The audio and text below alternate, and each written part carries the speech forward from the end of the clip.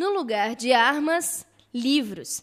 A sugestão é da campanha de desarmamento infantil de Camboriú.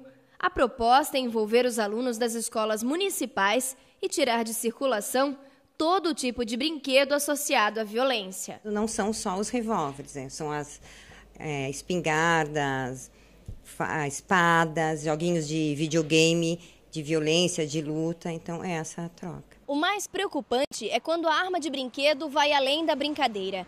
Em Itajaí, um garoto de 14 anos foi apreendido pela polícia quando usava uma arma de brinquedo na tentativa de assaltar pessoas no centro da cidade. Ele chegou a abordar um homem e roubar um celular. Para evitar situações semelhantes, este vereador de Camboriú criou um projeto de lei que proíbe a venda de armas de brinquedo em toda a cidade. A criança que é, usa uma arma de brinquedo, a criança naturalmente tem um objetivo. É, atirar num amiguinho, é, é, pensar no mal. E isso que nós temos que começar a mudar a nossa concepção. Nós temos que pensar no bem. Mesmo antes de virar lei, já tem gente que propõe uma troca na hora da compra. Sempre dizia, não dá para trocar por um carrinho, né? Levar um boneco, talvez, para tentar. Às vezes tinha criança que, que queria, mas tinha outras que batiam o pé e queriam arma.